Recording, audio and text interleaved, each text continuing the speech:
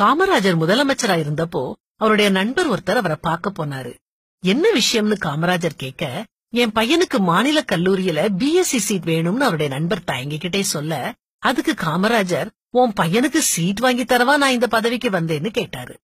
வந்தவர் வருத்தத்தோட பதினஞ்சு சீட் தானா? அதான் கிடைக்குமான்னு தெரியலன்னு சொல்லிட்டே போக முற்பட்டாரு. காமராஜர் அவரை நிறுத்தி என்ன சொன்ன? வெறும் பதினஞ்சு சீட் தானா? ஏன் இவ்வளவு குறைவான இடங்கள்? அந்த பிரின்சிபலுக்கு போன போடுன்னு சொன்னாரு. வெறும் பதினஞ்சு சீட் தான் உங்க காலேஜ்ல இருக்கான்னு கேட்க பிரின்சிபல் யுனிவர்சிட்டி அவ்வளவுதான் அனுமதிக்குதுன்னு சொல்ல சரி யுனிவர்சிட்டிக்கு போன் போடுன்னு சொல்லி அங்க கேட்க பதினஞ்சு மாணவர்களுக்கு மட்டும்தான் கல்வித்துறை அனுமதி அளிச்சிருக்குதுன்னு சொல்ல உடனே கல்வித்துறை மந்திரிக்கு போன் பறந்துச்சு.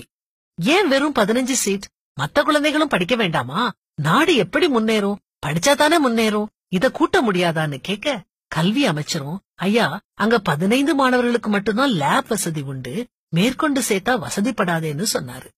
அதுக்கு காமராஜர் உங்க வீட்டுல பதினஞ்சு பேர் சாப்பிடறதுக்கு மட்டுமே பாத்திரம் இருக்குது. ஒரு நாள் முப்பது பேர் விருந்தாளி வர்றாங்க. என்ன செய்வீங்க? பதினஞ்சு பேருக்கு சமைச்சு வச்சுட்டு கழுவி அதே பாத்திரத்துல இன்னொரு தடவை சமையல் செய்வீங்க தானே? அதே மாதிரி காலை மாலைன்னு ரெண்டு ஷிஃப்ட் போடுங்க. இன்னும் பதினஞ்சு பட்டதாரிகள் உருவாகட்டும்னு சொன்னாரு.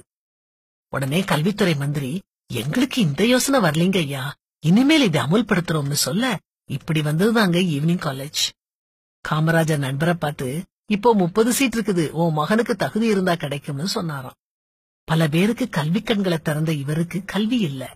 ஆனா அறிவும் ஞானமும் விவேகமும் இருந்துச்சு.